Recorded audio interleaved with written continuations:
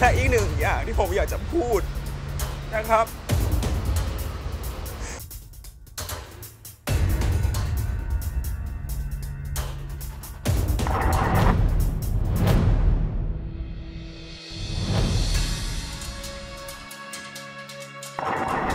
ตัวอยากจะบอกกับทุกคนนะครับว่าการเป็นนักแสดงตัวเล็กๆนี่มันไม่สามารถเรียกร้องอะไรได้ รู้สึกแย่ขนาดไหน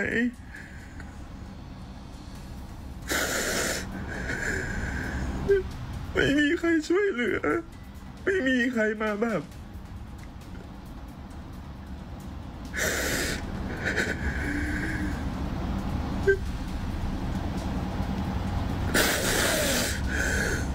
เป็นส่วนหนึ่งตอนที่น้องอัดเรื่องราวผ่านทาง t ิ k t o k แล้วก็บอกว่าโดนช่างตัดผมตัดหู แล้วก็ไล่เป็นทีละเขาเรียกนะทีละตอนใช่ไหมตอนค่ะตอน1ตอน 2 ตอน 3 ตอน 4 นี่จะเป็นช่วงหนึ่งที่น้องร้องไห้ ล่าสุดนะครับ วันนี้ทางน้องกับทนายความเดินทางมาชี้แจง โดยทางด้านของคุณนัตพงศ์คัตทจันทร์ หรือว่าโอ๊ตมีน ดารานักแสดงหนุ่มจากซีรีส์วายพร้อมกับทางด้านทนายความคุณมนทิราสองเมือง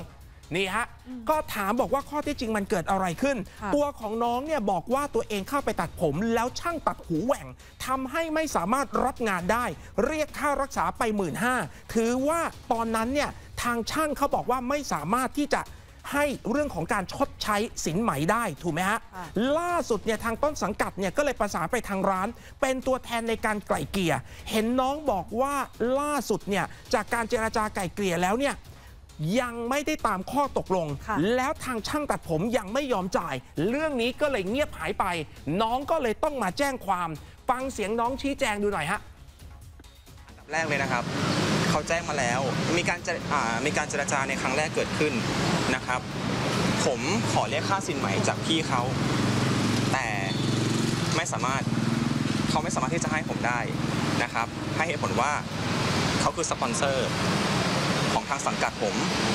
และผมไปทำผมแล้วผมไปทำฟรี ไม่มีค่าใช้จ่าย อันนี้คือเหตุผลมีการหา balance ตรงกลางอีกหนึ่งครั้ง ระหว่างตัวผมสังกัด และร้านทำผมและช่าง คือทางค่ายผมก็เสนอว่า เนี่ยงั้นเอาอย่างนี้ไหมทำบัตรตรงนี้ให้น้องไหมเผื่อน้องจะได้แบบ มีการเคลมหรืออะไรก็แล้วแต่ซึ่ง มันเป็น ATM อะครับที่พ่วงกับประกันอุบัติเหตุ ผู้ชมครับซึ่งซึ่งน้องเองบอกว่าตอนแรกเนี่ยร้านทำผมเนี่ยจ่ายให้หมื่นห้าค่ะเขาบอกว่าเป็นการชดใช้แล้วเรื่องค่ารักษาพยาบาล เนื่องจากว่าน้องเนี่ยเป็นนักแสดงในสังกัด แล้วสังกัดเนี้ยเขาดีลกับร้านนี้ค่ะเวลาพานักแสดงมาตัดผม ลองดูอาการของน้องหน่อยนะครับ และน้องบอกว่าน้องต้องสูญเสียโอกาส เพราะเวลาเป็นนักแสดงมันต้องใช้หน้าตา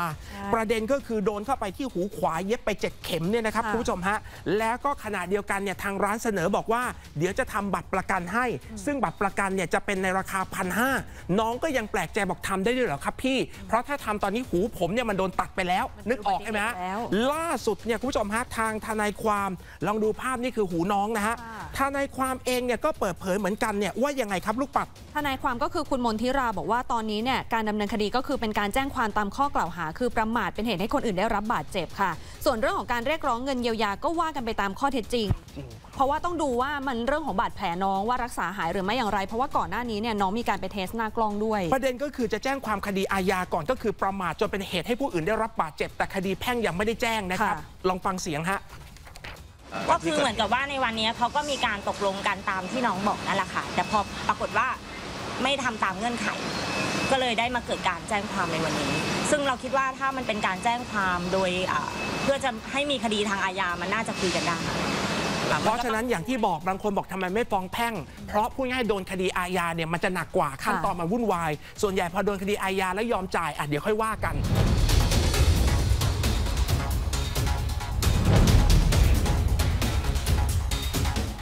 ล่าสุดวันนี้ทางทีมข่าวช่อง 8 ได้มีโอกาสคุยกับช่างกล้องใช่ไหมใช่ค่ะคู่กรณีของน้องโอ๊ตปรากฏว่าวันนี้ทางช่างกล้องเอง เปิดใจเลยฮะค่ะแล้วเจ้าตัวร้องไห้อืมมันมีมุมที่น่าสนใจวันนี้ต้องฟังความสองข้างค่ะช่างอธิบายอันที่หนึ่งผมย่อๆ บอกน้องมาตัดผมกับเพื่อน น้องนั่งไม่นิ่ง หันไปคุยกับเพื่อนตลอดเวลา ที่สำคัญคือน้องก้มเล่นโทรศัพท์มือถือตลอด ช่างยืนยันว่าตัวเองก็มีพยานเหมือนกัน ผมเองก็จ่ายค่ารักษาพยาบาลไป 15,375 บาท ยืนยันนะครับว่าร้านพร้อมจะรับผิดชอบ ไม่ได้เคยปฏิเสธความรับผิดชอบ แต่ขณะเดียวกัน เราก็บอกโอ๊ตเขาทักมาเนี่ยพี่ ว่าช่างกล้องไม่ตอบแชทเขาเลย หลังจากน้องทวงถามเรื่องความรับผิดชอบ ช่างก็อธิบายบอกว่าช่างคุยกับคนเยอะค่ะดังนั้นอาจจะมองไม่เห็นข้อความ วันนี้นักข่าวก็ถามอีกบอกช่างกล้อง โอ๊ตเขาบอกว่าก่อนหน้านี้เคยพลาดสองครั้ง ช่างก็เลยบอกจริง ๆ แล้ว พูดแบบนี้ได้ยังไง เพราะเรื่องนี้มันไม่เกี่ยวกันเลย การเกิดเรื่องแบบนี้คุณควรจะคุยกับผมแค่เรื่องนี้ แต่ทำไมถึงพูดเรื่องอื่น ให้เขาเสียหายขณะเดียวกันทางตอนนี้ร้านกำลังมีปัญหา โดนโจมตีจากทุกคนทำไมถึงทำกับผมแบบนี้ สุดท้ายผมยืนยันว่าใส่ใจดูแลลูกค้าทุกคน อย่าตัดสินจากข่าว เพราะถ้าหากว่าตัดสินผมแล้วทีมงานผมก็เดือดร้อนด้วย เพราะเขาไม่รู้เรื่อง แต่กำลังจะบอกว่านั่งอยู่ไม่สุข ถูกไหมลองฟังบางช่วงบางตอนดูฮะอันดับแรกเลยนะคะ ในฐานะของความเป็นช่างต้องปฏิเสธไม่ได้เลย ว่าใช่ค่ะ มันคือความผิดพลาดที่เกิดขึ้นเนาะแต่ทั้งนี้ทั้งนั้นนะคะ มันคือความผิดพลาดที่กล้องไม่สามารถควบคุมได้เนาะ เพราะว่า movement หรืออะไรใด ๆ ก็ตามแต่ที่มันเกิดขึ้นณขณะปัจจุบันตรงหน้านะคะ ตรงนั้นเนี่ยเราไม่สามารถควบคุมได้เลย เพราะว่าน้องไม่นิ่งนะคะ น้องหันไปคุยกับคนข้างๆนะคะ รวมถึงแบบมี react กับการเล่นโทรศัพท์มือถือนะคะเป็นครั้งคราวด้วยบางทีเนี่ยเราก็บอกแล้วว่า เอ้ย ระวังนะ ระวังจะโดน เรายังพูดอยู่เลยว่าเฮ้ยระวังจะโดนแล้วมันก็โดนจริง ๆ แล้วไม่รู้สิ ตอนนี้กระแสสังคมที่มันเกิดขึ้นคือก็ไม่ได้มีความรับผิดชอบ เนี่ยความไม่รับผิดชอบผมต้องคืออะไร ทันทีที่แบบว่าเกิดเรื่องอะก้องก็พาน้องเขาเออเนี่ยบอกให้น้องเขาพารีบพาน้องเขาไปหาหมอก่อน พาเข้าโรงพยาบาลที่ใกล้ที่สุดที่ไหนก็ได้ ให้ไปดูแลก่อนอะไรก่อน ค่าใช้จ่ายเนี่ยหมื่นห้าตามที่น้องเขาบอกใช่นะคะแล้วหลังจากนั้นเหตุการณ์ที่มันเกิดขึ้นนะคะ คือทางค่ายก็ได้มีการนัดให้มาคุยกัน นัดนัดคุยกันตรงนี้แหละ นั่งคุยกันแล้วก็ประมาณนี้แล้วมันจะมีเรื่องทำประกันอุบัติเหตุให้น้องอีก